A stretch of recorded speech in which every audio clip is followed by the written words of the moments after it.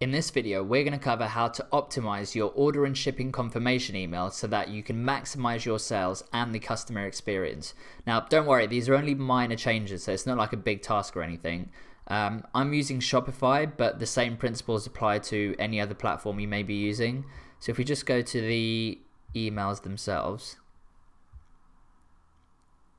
uh, notifications, here we go. So there's three main ones to focus on because the other ones are very rarely uh, if ever used. So it's the abandoned cart email or abandoned checkout, and then the order confirmation email, and then the shipping confirmation email too.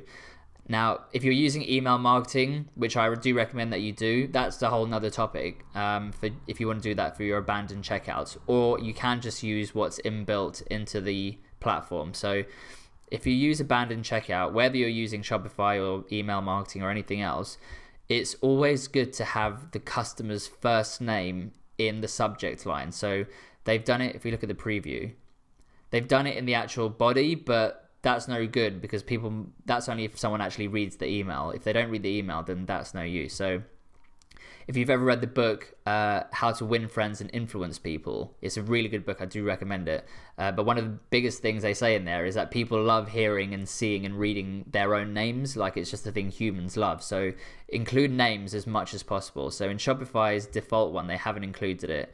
So what you do is just you put this here, customer.first name, which is sort of included in here. You just copy and paste it, and then comma complete your purchase. Um, and then that's it. So when you do the preview, it'll now have John complete your purchase, and then everything else. Everything else looks fine. Um, it was just that point that it's really important to have first names in the actual subject line, and doing that also uh, stops your email from getting marked as spam a lot of the time because it shows you actually know the person who you're emailing. The other thing I would actually change, so Shopify also defaults to complete your purchase. And what I found is that my uh, abandoned cart recovery was slightly lower than the average, and I was trying to think of why that was. And then I made a very small change. So complete your purchase sort of suggests that. Let me show you. It sort of suggests that if I click this button, it might mean that I'm about to be charged or like I'm just going to pay for this order because it says complete and that in itself might put people off because if they've already put in their payment information and then they abandon their checkout they don't want to click this button if they think it's just going to immediately buy the product for them. So i actually changed this. So for example here you could put john did you forget something? And then that's just a lot more playful a lot more conversational and a lot less pushy in terms of you know complete your purchase. And it just avoids the problem of them thinking that you, they're going to immediately have to buy something and then if you want to change it in the actual email itself, so I don't know coding or anything like that at all, um, but it's actually quite easy. So all you do is do Control or Command F to do find, and then just find the word purchase. And then, yeah, you can ignore all the code and just focus on the actual words here. So complete your purchase. I normally change that to something along the lines of return to shopping cart or like return to your order or continue. Um, I just wouldn't put complete because that does suggest that they might be paying for the order as soon as they click. So if we look at that now, that's a lot better now. So John, did you forget something? And then we've mentioned shopping cart here. There's some items left. And then this just says return to your shopping cart and then that's just so much better than saying you know complete your purchase so that's the small optimization i'd make on shopify but if you've got something else then still just stick to those principles of include the first name and don't make it so that your email looks like they may be paying for something without really having time to confirm it if they click any buttons so just make it very inviting and very safe for them to return to the page to where they initially were so that's abandoned cart then if we go back, yeah, leave page. Now for order confirmation, this one's typically fine because they've already made the purchase, right? So things are good.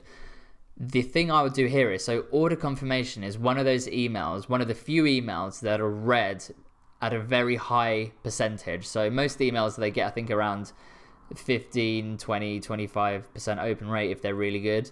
Um, but order confirmations get a much higher one because obviously the customer is already interested and engaged with you because they've just bought something, and B they'll just like read it to check that everything looks legit. So what I like to do in here, and again, if you're using an email marketing app to do this for you, then that's fine. But this principle still applies. Of I would add a discount code or something that will either get them to shop back in the future or literally immediately. So again, this doesn't require any code if you are using Shopify. If you go to uh, just where the text is, so we're getting your order ready to be shipped, we'll notify you when it's been sent. After that, you can just put something as simple as for your next order, get a 10% discount by using the code and then you can just put whatever your code is that you set up in Shopify in the discount section here or whatever platform you're using.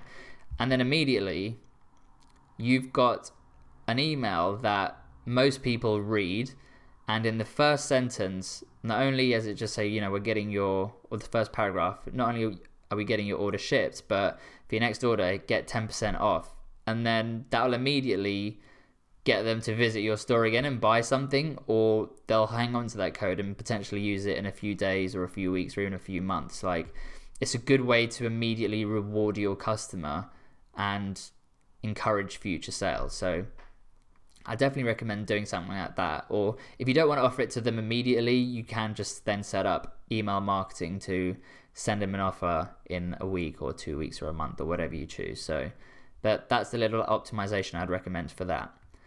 And then finally, we've got the, let's leave this, the shipping confirmation.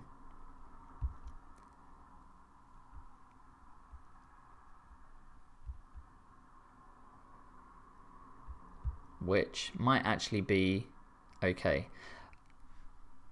Yeah, so that's that's fine. There is one thing that I would add, but I'm actually going to cover it in the next section, which is about customer management. So, in order emails, um, I like to include a link to a frequently asked questions page. And then that way it minimizes your work because when customers get these emails, they can just sort of answer their own questions without contacting you for information. But I'll cover that in the next section, so stay tuned.